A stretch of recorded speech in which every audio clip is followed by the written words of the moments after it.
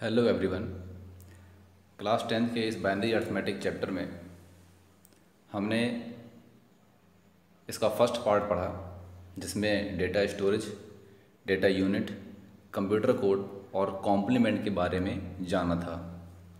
Binary arithmetic के इस second part में इसमें हम पढ़ेंगे साइन एंड मैग्नीट्यूड रिप्रेजेंटेशन अर्थात चिन्ह और अंकों का प्रदर्शन और बाइनरी अर्थमेटिक के सवालों को, अर्थात binary add subtract multiplication and division आइए स्टार्ट करते हैं। साइन एंड मैग्नीट्यूड रिप्रेजेंटेशन क्या होता है ये? कोई भी पूर्णांक संख्या दो भागों से मिलकर बनी होती है। वो दो भाग हैं चिन्ह और मैग्नीट्यूड इसमें चिन्ह का अर्थ प्लस और माइनस से होता है, अर्थात जैसा कि मैथ में पढ़ा होगा, धनात्मक और ऋणात्मक संख्या, अर्थात प्लस और माइनस ये दो चिन्ह हो गए। और मैग्नीट्यूड का अर्थ है अंकों के समूह से। अर्थात अंकों का समूह कहलाया मैग्नीट्यूड। इसे उदाहरण से देखते हैं। प्लस का पाँच हज़ार चार सौ तेईस, अर्थात ये धनात्मक संख्या है। और एक संख्या लिखी है माइनस में दो हज़ार एक सौ अड़तालीस। ये ऋणात्मक संख्या है। इस प्रकार इस उदाहरण से हम समझ सकते हैं कि ये पॉजिटिव वाली संख्या और ये नेगेटिव संख्या। अर्थात प्लस में लगा है। और संख्या लिखी है तो प्लस का चिन्ह हो गया चिन्ह, और जो संख्याएँ लिखी हैं, ये हो गया मैग्नीट्यूड। धनात्मक व ऋणात्मक पूर्णांकों में सबसे पहली बिट अत्यंत महत्वपूर्ण, अर्थात एमएसबी कहलाती है, और सबसे अंतिम बिट वो कहलाती है, लघुत्तम महत्वपूर्ण बिट, अर्थात एल एस को इंग्लिश में कहते हैं मोस्ट सिग्निफिकेंट बिट और एल एस बी को इंग्लिश में कहते हैं लीस्ट सिग्निफिकेंट बिट ठीक है? इस प्रकार इसे हम उदाहरण से समझते हैं। यदि कंप्यूटर की वर्ड लेंथ आठ बिट है, आठ बिट की कंप्यूटर की वर्ड लेंथ है तो उसमें एमएसबी और एलएसबी क्या होगी? तो इस प्रकार संख्याओं को लिख लिया हमने आठ बिट की एक, जनरली एक एग्ज़ाम्पल के तौर पर। तो आठ बिट की इस वर्ड लेंथ पर सबसे पहली बिट लेफ़्ट साइड वाली कहलाएगी एमएसबी और लास्ट वाली राइट साइड वाली बिट सबसे लास्ट वाली वो कहलाएगी एलएसबी ये रहा इस प्रकार ज़ीरो हो गई एम और इसमें वन हो गई LSB आगे चलते हैं। ज्ञात हो कि धनात्मक अत्यंत महत्वपूर्ण बिट का मान ज़ीरो। अत्यंत महत्वपूर्ण बिट कहाँ होती है? लेफ़्ट साइड की सबसे पहले बिट। और अगर ऋणात्मक में कोई संख्या है तो उसकी एमएसबी अर्थात अत्यंत महत्वपूर्ण बिट का मान होगा एक। इसे उदाहरण से समझते हैं। एक एग्जांपल है, आठ बिट वर्ड लेंथ पर बाइनरी संख्या सैंतीस का चिन्ह और मैग्नीट्यूड प्रदर्शित कीजिए। सॉल्यूशन इसका? तो सैंतीस की सबसे पहले बाइनरी निकाल लेंगे। तो सैंतीस की बाइनरी आ गई one zero zero one zero one ये सैंतीस की बाइनरी आ गई। इसे आपने पिछली कक्षाओं में पढ़ा होगा कि बाइनरी से डेसिमल और डेसिमल से बाइनरी कन्वर्जन अब सैंतीस की बाइनरी जो आ गई, ये छः बिट में है। हमें रखना है आठ बिट में। तो सबसे पहले हमने इसे छः बिट को उतार लिया। ये छः बिट लिख गई। हमें कितनी बिट की आवश्यकता है? दो बिट की आवश्यकता और है। तो उस दो बिट को हम ज़ीरो ज़ीरो से निरूपित करेंगे। तो पहली बिट बढ़ाया ज़ीरो, ये बढ़ गई और अगली बिट बढ़ाएँगे ज़ीरो। पर यहाँ थोड़ा ध्यान देने की बात है कि अगर संख्या धनात्मक में है तो अत्यंत महत्वपूर्ण बिट का मान आएगा ज़ीरो। यहाँ पर संख्या सैंतीस पॉजिटिव है अर्थात धनात्मक है तो लिखेंगे ज़ीरो। और अगर ऋणात्मक होती तो यहाँ पर आता वन। इसी प्रकार दूसरा एग्ज़ाम्पल है।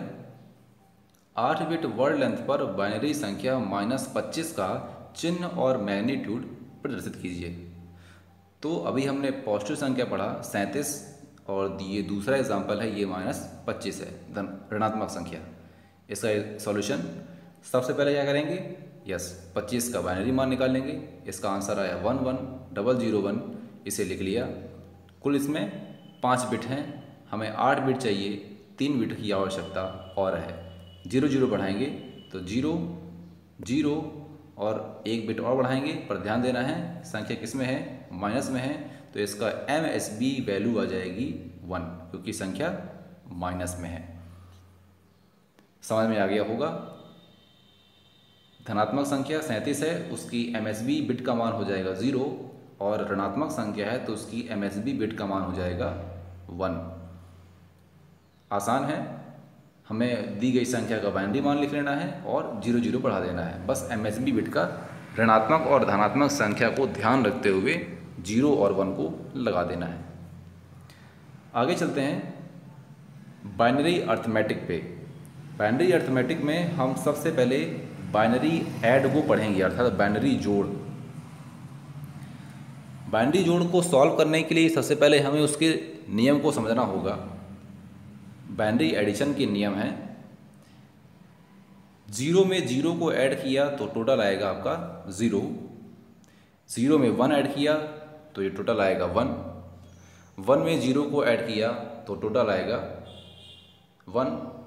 और अगर वन में वन ऐड करते हैं तो इसका टोटल आएगा ज़ीरो कैरी वन, अर्थात ज़ीरो हासिल, एक, कैरी का मतलब होता है हासिल, या इसे दस भी लिख सकते हैं। फॉर एग्ज़ाम्पल जैसे बताया वन और वन का टोटल हो जाएगा टेन तो वन और वन का टोटल कैसे हो जाएगा टेन मान लिया, इसका टोटल हो गया दो. डेसिमल में हम पढ़ें अगर, इसका टोटल कितना हो गया? दो. अब ये दो आ गया डेसिमल पे. हमें चेंज कर लें। हमें चेंज करना है इसे बाइनरी में. तो दो की बाइनरी क्या आएगी? आप निकाल लेंगे। दो की बाइनरी आएगी दस। यही चीज़ लिखी हुई है। दो की बाइनरी जब दस आ जाएगी तो जब हम उसे सॉल्व करेंगे तो देखिए इस प्रकार करेंगे। फॉर एग्ज़ाम्पल अगर हमारे पास कोई संख्या लिखी है, आठ दो दस दस पूरा नहीं लिखेंगे। क्या लिखेंगे? आठ दो दस दस की ज़ीरो, हासिल। एक और नौ के बाद दस और दो, बारह। ये आ गया 120 इस प्रकार ये जो हासिल है यही ये यहाँ पर लिखा है।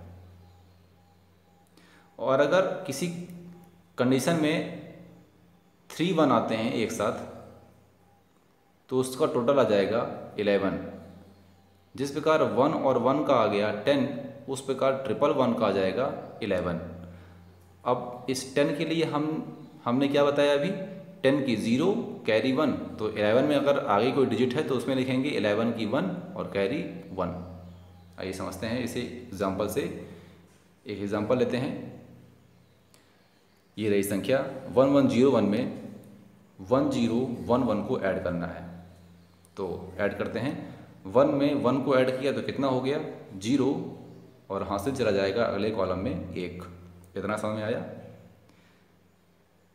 तो अब आगे फिर वन और वन वन वन हो जाएगा ज़ीरो, हासिल एक। अगले कॉलम में again one one zero carry one.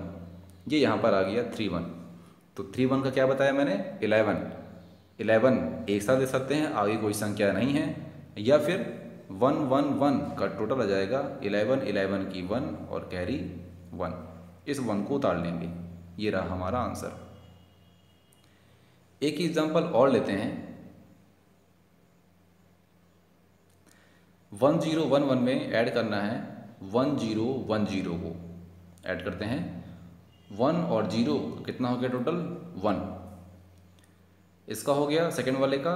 One में वन ऐड किया तो टोटल हो गया ज़ीरो और हासिल चला जाएगा अगले कॉलम में वन अगेन अब कोई जोड़ने वाली डिजिट है नहीं तो वन में ज़ीरो को जोड़ेंगे तो वन इसका टोटल आएगा वन फिर से वन वन का हो जाएगा टेन ये आ गई पूरी पूरी संख्या. अब ऊपर हासिल रखने की आवश्यकता नहीं है, क्योंकि आगे कोई संख्या नहीं लिखी. इस प्रकार ये आ गया इसका टोटल अगर इसे डेसिमल संख्या में देखें तो डेसिमल में पहले वाले एग्ज़ाम्पल का जो वैल्यू आएगी, वो है, ये लिखी है तेरह की बाइनरी और ये लिखी है ग्यारह की बाइनरी तो अगर इन दोनों का टोटल करेंगे, इसका टोटल आएगा ट्वेंटी फोर इसी प्रकार दूसरे वाले एग्ज़ाम्पल में है, इसका बाइनरी इसका डेसिमल जो मान है, वो आएगा इलेवन और इसका आएगा टेन और इन दोनों का टोटल आएगा ट्वेंटी वन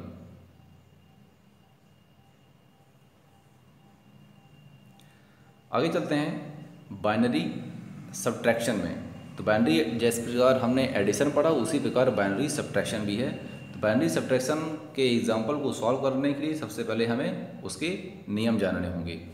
ये रहे बाइनरी सब्ट्रैक्शन के रूल्स ज़ीरो में ज़ीरो को सब्ट्रैक्ट किया तो टोटल आएगा ज़ीरो ज़ीरो में वन सब्ट्रैक्ट करने पर वन आएगा, कब आएगा? लोन लेने पर, अर्थात उधार लेने पर।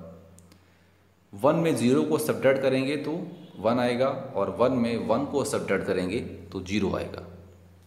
इस प्रकार इसे उदाहरण से समझते हैं। एग्ज़ाम्पल में हमने एक डिजिट ली वन वन ज़ीरो वन में सब्ट्रैक्ट किया वन ज़ीरो वन ज़ीरो को। तो सब्ट्रैक्शन करने के लिए पहले डिजिट वन में ज़ीरो को सब्ट्रैक्ट करेंगे कितना आएगा? वन आएगा। यहाँ पे हमने वन लिख दिया। अब अब क्या करेंगे? अब हम ज़ीरो में, अगले डिजिट है ज़ीरो में वन को सब्ट्रैक्ट करना है तो ज़ीरो में वन जाएगा नहीं तो इससे उधार लेंगे। जब इससे उधार लेंगे तो ये हो जाएगा दस और ये डिजिट हो जाएगी कैंसिल यहाँ पर कितना बचेगा? ज़ीरो। आइए इसे समझते हैं। ज़ीरो में वन नहीं जाएगा तो इससे उधार लिया हमने। यहाँ पर हो गया टेन। ये डिजिट हो गई, कैंसिल। तो टेन में वन गया वन।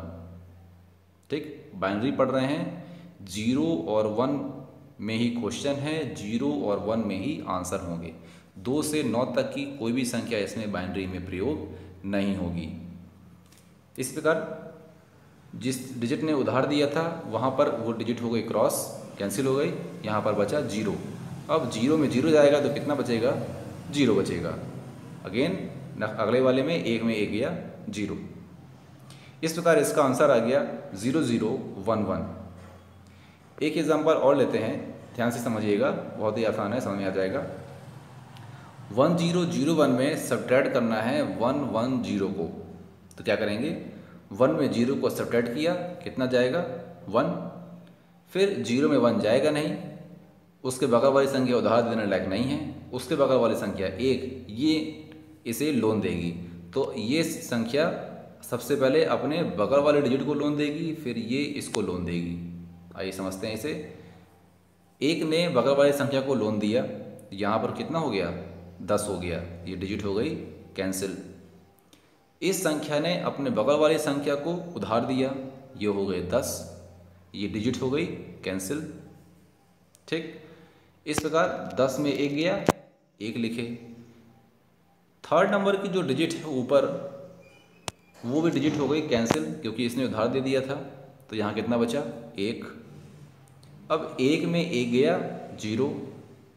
और इस डिजिट जो एक ने सबको उधार दिया था बगल वाली संख्या को वहाँ पर कितना बचा? वो डिजिट हो गई कैंसिल और यहाँ पर बचा ज़ीरो और ज़ीरो को उतार लेंगे। इस प्रकार इसका भी मान आ गया ज़ीरो ज़ीरो वन ज़ीरो अब इसका अगर डेसिमल में चेंज करके देखें तो डेसिमल में इस, इसका मान लिखा है तेरह और माइनस दस। अर्थात ये वन वन ज़ीरो वन ये लिखा है तेरह की बाइनरी ये वाली, और इसके नीचे वाली बाइनरी ये लिखी है वन ज़ीरो वन ज़ीरो दस की बाइनरी है। इसका टोटल आ जाएगा ज़ीरो ज़ीरो वन वन, अर्थात ये तीन की बाइनरी लिखी है। इसी प्रकार अगले वाले का डेसिमल जो मान है, वो है, इसका मान लिखा है नौ, और ये छः की बाइनरी है तो नौ में छः गए, तीन आ जाएगा। आगे चलते हैं। बाइनरी मल्टीप्लिकेशन में। बाइनरी मल्टीप्लिकेशन के भी रूल्स हैं। Zero multiply zero is equal to zero zero multiply one is equal to zero, one multiply zero is equal to zero, और one multiply one is equal to one. इसके example solve करते हैं। One one zero one में multiply करना है one one. तो क्या करेंगे? सबसे पहले हम इस वन का मल्टीप्लाई इन सभी से करेंगे। इससे भी करेंगे, इससे भी करेंगे, इससे भी करेंगे और इससे भी करेंगे। इसका जाएगा वन वन जा one one multiply zero is equal to zero one one जा वन वन वन जा वन। अब क्या करते हैं? जैसा कि साधारण मैथ में करते हैं मल्टीप्लिकेशन के लिए एक डिजिट यहाँ पर क्रॉस लगा देते हैं, यहाँ पर पहले डिजिट के नीचे। ये लगा दिया क्रॉस फिर सॉल्व करेंगे दूसरे वाले वन का, ऊपर के सभी डिजिट से, दाएँ तरफ़ से तो वन वन जा one one zero zero one one जा वन और वन वन जा वन। अब क्या करते हैं? अब ऐड करेंगे। तो ऐड करने के लिए वही रूल फॉलो होंगे जो बाइनरी ऐड में फॉलो होंगे। अर्थात वन वन का ज़ीरो कैरी वन हम इसका टोटल करेंगे। तो इसका उतर आएगा वन इसका आ जाएगा वन इसका आ जाएगा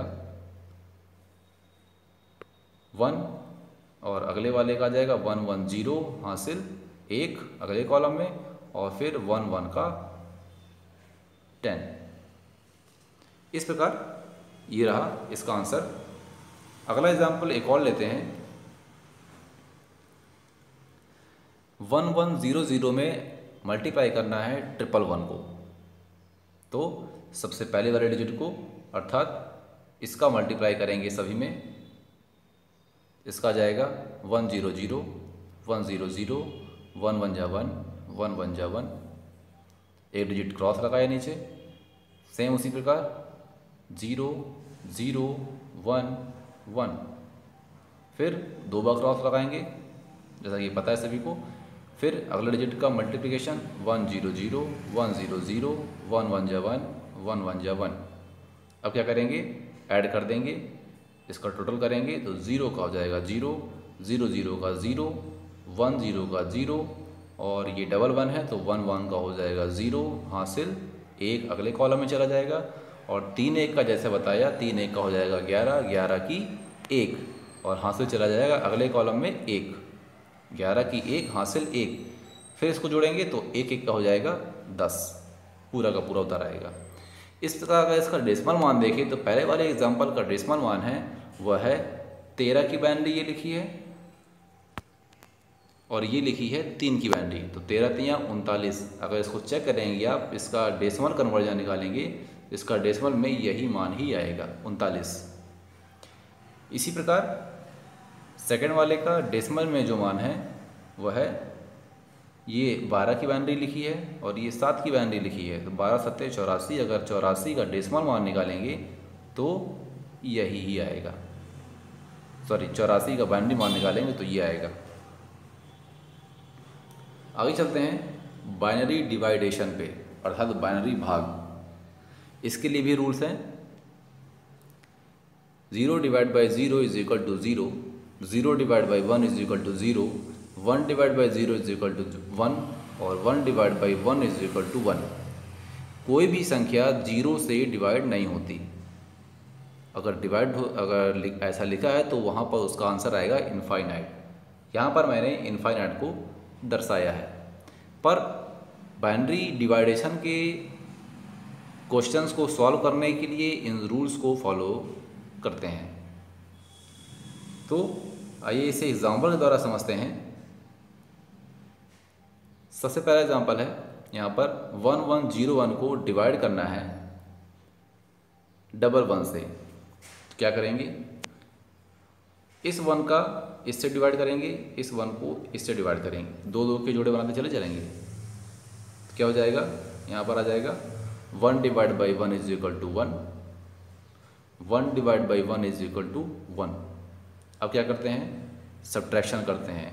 थोड़ा सा ध्यान देने की ज़रूरत है। बहुत ही आसान है बाइनरी डिवाइड। सब्ट्रैक्शन करेंगे।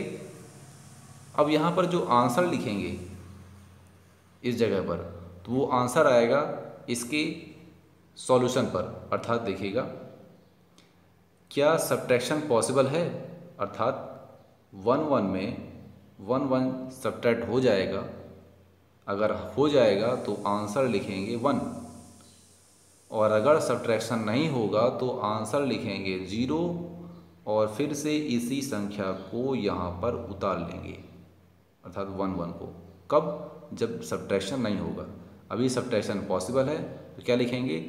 सब्ट्रैक्शन पॉसिबल है तो आंसर में लिखेंगे वन। ये लिख दिया वन। जब सब्ट्रैक्शन पॉसिबल है तो सब्ट्रैक्शन करेंगे। तो वन में वन गया ज़ीरो और वन में वन गया ज़ीरो अब क्या करेंगे? अगली डिजिट उतारेंगे और ये उतार ली हमने ज़ीरो फिर से अब इसका डिवाइड इससे और इसका डिवाइड इससे करेंगे। इसका जाएगा one zero one divide by zero is equal to one one divide by zero is equal to one इसी नियम से है। ये वाले one divide by zero is equal to one. फिर सब्ट्रैक्शन करेंगे। सब्ट्रैक्शन पॉसिबल है? जी नहीं। सब्ट्रैक्शन पॉसिबल नहीं, अर्थात ज़ीरो में वन नहीं जाएगा। ये सब्ट्रैक्शन पॉसिबल नहीं है तो क्या लिखेंगे? यहाँ पर ज़ीरो बढ़ाएँगे और यहाँ पर यही संख्या को फिर से उतार लेंगे। आइए देखते हैं कैसे। सब्ट्रैक्शन नहीं पॉसिबल तो आंसर में लिखा ज़ीरो और फिर से किसको? इस संख्या को नीचे उतार लिया हमने। ये आ गए ज़ीरो। इसके बाद अगली डिजिट उतारेंगे वन और फिर से इलेवन का डिवाइडेशन करेंगे। तो वन वन जा हो जाएगा वन और one divide by zero is equal to हो जाएगा वन फिर क्या करेंगे? सब्ट्रैक्शन करेंगे। सब्ट्रैक्शन पॉसिबल है? नहीं पॉसिबल अर्थात एक में ग्यारह नहीं जाएगा। तो क्या लिखेंगे आंसर में? ज़ीरो लिखेंगे और फिर से क्या करेंगे? इस एक को उतार लेंगे। ये उतार लिया। तो ये बच गया हमारा रिमाइंडर यहाँ पर। ये आ गया रिमाइंडर और ये आ गया भागफल। अब अगर देखा जाए इसका डेसिमल में मान इसको सॉल्व करने पर इसका डेसिमल मान आएगा तेरह। अर्थात ये तेरह की बाइनरी लिखी है, ये तीन की बाइनरी लिखी है, और ये चार की बाइनरी लिखी है, और ये एक की बाइनरी लिखी है। अर्थात ये कुछ इस प्रकार लिखा है। तेरह को तीन से डिवाइड किया तो तीन चौको बारह और शेष बचा एक। अगर इसको बाइनरी पे कन्वर्ट करेंगे तो तीन सेम यहीं पे आएगा। तेरह एक की ये बाइनरी और चार की बाइनरी ये लिखी है, और एक की बाइनरी ये रही। इस प्रकार इसे बाइनरी डेसिमल और डेसिमल बाइनरी कन्वर्जन से भी सॉल्व कर सकते हैं। इस प्रकार ये बाइनरी अर्थमेटिक का चैप्टर ख़त्म हुआ। इसके और भी एग्ज़ाम्पल आप लगाएँगे, प्रयास करेंगे, आएँगे, नहीं आएँगे तो आप कमेंट करके पूछ सकते हैं। धन्यवाद।